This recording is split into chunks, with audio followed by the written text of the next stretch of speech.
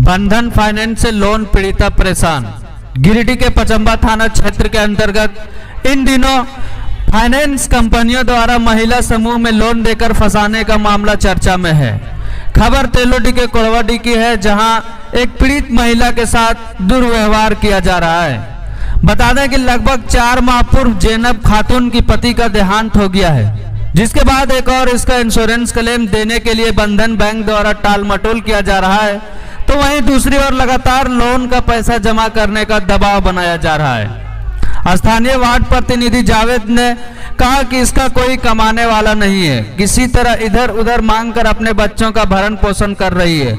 इसलिए मांग करते हैं कि जितना जल्द हो सके इस पीड़िता के साथ उत्पन्न समस्या का निपटारा किया जाए। वहीं ग्रुप के सभी महिलाओं ने इसका विरोध करते हुए कहा कि अगर इनका समस्या हल नहीं किया गया तो हम लोग लोन का पैसा चुकता नहीं करते हुए पुलिस प्रशासन को आवेदन देकर कानूनी कार्रवाई करने की मांग करेंगे। ये जो ग्रुप लेडीज़ लोग ग्रुप से पैसा वसूली में जो इंश्योरेंस का जो रहता है वो कितने दिन में अप्रूव होता है? ये आपका लगता है दो महीना लगता है। तो तीन महीना तो दस दिन में हम लोग रजिस्ट्रेशन करते हैं उसके बाद डेथ सर्टिफिकेट बनाता है जैसे डेथ सर्टिफिकेट दीदी देता है तो उसको हम लोग पीडीएफ करके भेजते हैं और सब डॉक्यूमेंट सबमिट करके भेजते सब ऊपर से आता है। लगभग तीन से चार महीना तक हो चुका है जो कि कहना है पीड़िता का अभी तक इसका मुआवजा नहीं दिया गया है इंश्योरेंस नहीं दिया गया है। तो कंपनी इस पर क्या कर रही है? वही तो देखना पड़ेगा क्या प्रॉब्लम है जो सर आता था वही सर से हम बात करेंगे वो किस तरह से उसका डॉक्यूमेंट सबमिट किया है। अगर गलती हुआ है तो हम लोग उसका जाँच करेंगे। अभी आप यहाँ पे क्या आश्वासन दे रहे पीड़िता को? यही आश्वासन दे रहे दो सप्ताह के अंदर हम लोग देखते हैं जितना जल्दी हो सके उसका सॉल्व करने की कोशिश करेंगे। चार तीन महीना चार महीना हो गया चार महीना लगभग हो गया ठीक है? जब यहाँ आ रहे मैनेजर के पास तो बोल रहा है कि अभी नहीं हो पाएगा नहीं हो पाएगा और लगेगा टाइम छः महीना लगेगा साल भर लगेगा ऐसे बोल रहा है। तो बोल रहे हैं कि कुछ बताइए क्या प्रॉब्लम है? तो मैनेजर बार बार चेंज हो रहा है दो को तीन ठो जब आते हैं तो बोल रहा है कि नहीं हम नहीं जानते वो बोलता वो लिया है हम नहीं जानते ऐसे बोल रहा है। आपका क्या नाम हुआ? मेरा नाम है जैनब।